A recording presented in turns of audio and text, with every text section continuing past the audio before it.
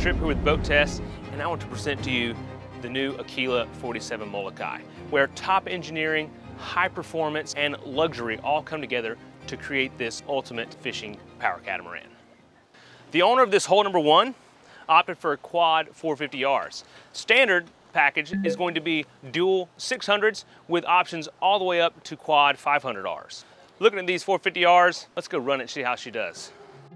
She has a length overall of 49 foot 4 inches and a beam of 14 foot 7 inches. But of course, most of that beam is out of the water, which is what makes cats so fast. All right, let's see how she performs. We got some good sporty weather out here today. And we're going head on in these seas. And generally, your boat may not enjoy this very much, but I know this boat enjoys this, maybe not as much as I do. So we have some white caps out here. We're bouncing, rolling a little bit. As we get up to eh, 40, a little over 40 mile an hour, I'm gonna trim her up a little bit, reduce that drag. All right, cruising just at 50 now. One thing I really like is it's so quiet in here. There's not a lot of wind noise as we come up to 50, 53. Everything's quiet. There's no holes slapping and banging. So now let's come about a little bit. One thing I learned today, trim my inside. Whoop! Hold on, boys. Trim the inside. But see, we just got airborne and we are good to go. I'm gonna trim my inboard motors up as I make this turn. Nothing to it. Now we're gonna cheat and go downwind a little bit. You're not even worried about the sea state. You're just running. Wherever you want to go, point it, give her the fuel, and she just soaks it up. Now let's get to the performance numbers of the Molokai 47. This boat carries 1,048 gallons of fuel, which is almost unheard of in this size and class of boat. On test day, we carried a 58% fuel load and 52% of our 80 gallon water capacity and had three people aboard. We calculated our test weight as being 27,063 pounds. She was powered by Quad Mercury Racing 450Rs turning 23 pitch Rev 4 XP props. At 5700 RPM, that 1800 horsepower drove the Molokai 47 to a top speed of 69.6 miles an hour. Best cruise came at 4,000 RPM, where she went 42.6 miles an hour, burning 64.7 gallons per hour. This equates to 0.7 miles per gallon, which is very good for this size and horsepower boat. At that speed, she has a range of 621 statute miles thanks to her remarkable fuel capacity. It means not only can she get out 100 miles to the canyons and back in a hurry, but when cruising, she can cover a remarkably long distance on a single fill up.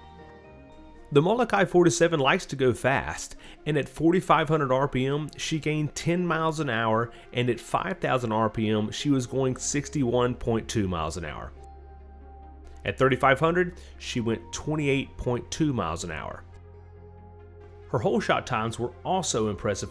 We recorded 0 to 20 miles an hour in 4.6 seconds, and 0 to 30 miles an hour in 8.1 seconds.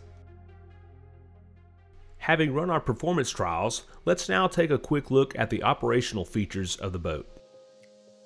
Let's get a look at the mechanical aspects of this boat.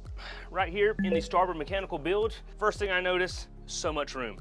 Aquila has given us generous access to all of our mechanical components down here. Everything from the power steering pump, fuel filters, fuel selector valve, our house batteries, and then over here I like to see all of my outlets are labeled.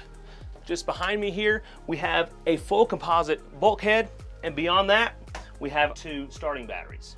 And down here, I can't get over how much room there is. I've even been told to fit an eight person life raft down here. Down in the port side, in the mechanical locker, we find all of our plumbing components. We have our sea chest right here to keep all of your live wells and stuff pressurized while you're underway. No worries about that. And then all of your other pumps, fresh water tank are found down here as well. Now, Aquila is traditionally known for their luxury line of boats, but you can look right in here and see how they are stepping up their game and getting into a more fishing capable vessel. Under our second row seating, we find our optional lithium battery bank. This enables you to run your AC all night long if you're on the hook. Now let's check out the helm. Immediately what catches my eye are these dual 24 inch screens. And you can also option for three 19 inch screens here. Here we have a nice glove box. A little farther, we have our C-Zone controls, which is a great spot to control everything within the boat. But also you can do that on your Raymarine screens or up here with tactile buttons. Just below our Raymarine screens, can't help but notice the AC vents here. Great for the hot days when maybe stagnant, the wind's not blowing too much. Centerline, we find our control panel for our RGB lighting around our hardtop. Good substantial wheel here with a suicide knob, very handy. Then we have our joystick here, which can make uh, even the most amateur captain look like a salty captain, and then our mercury controls as well. Bringing my gaze upward, notice we have a binnacle compass mounted center line with the helmsman, and of course we have fantastic viewing all the way around. Above, we have Hooker electric controls for our live wells, and these have variable speed for your live wells as well. We have our Fusion head unit, then all of our tactile controls and our VHF radio. Up on the bow, we have three lockers dedicated to ground tackle. On the starboard side, we have our windlass complete with remote, which is also operational from the helm.